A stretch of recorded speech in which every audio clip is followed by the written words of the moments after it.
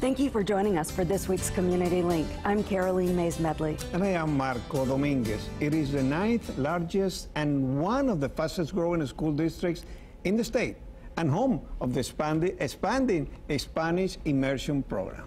And joining us today is the district superintendent, Dr. Sean Smith. Good morning. Good morning. We're so glad to have you. Yes. So Thank you. tell us about the growth mm-hmm. in Lawrence Township Well, and what sets you apart. Over the last five years, we've seen a resurgence in population. Well, back in the 1990s, Lawrence Township, as well as many parts of Indianapolis, exploded in population, and eventually it began to calm down. And now we've seen a resurgence in population. So over the last five years, we've had over 1,200 new students to the district. Wow. Amazing. And the programs that you guys are offering right now. Uh, we have wonderful programs. I, I'm first of all going to brag about some of our educators. We are home to the 2019 Teacher of the Year, Tamara go. Markey, Yeah. who is the Teacher of the Year at our uh, fabulous Career Center, uh, McKenzie Center for Innovation and Technology. So I want to brag about that in particular career and tech program because it's one of the best in the state. We can prove that by having an outstanding teacher. We're certainly proud of our Spanish immersion program.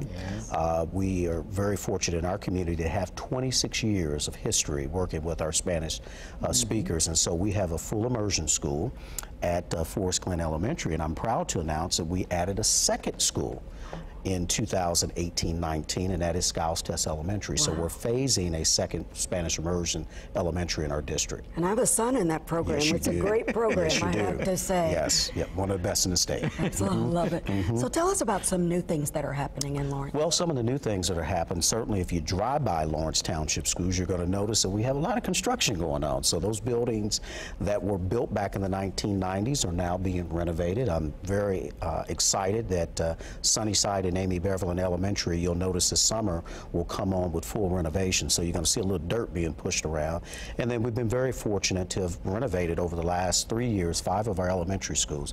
And so the goal in the community is to eventually have all of our schools fully renovated as we prepare for the next phase of uh, young people to come to our That's great. schools. Very quick, quickly, how can the community learn more about the school district? Absolutely. Obviously, you can go to the internet, lawrenceltschools.org, and uh, you can certainly call our district, and that information is posted. But we're easy to find on uh, the internet as well as being able to find us on social media. Dr. Smith, thank you so much for joining us. Thank you. Thank you, Doctor. And thank you so much for joining us today. This was your weekly Community Link. To share this segment or learn more about the Lawrence Township School District, head to wishtv.com.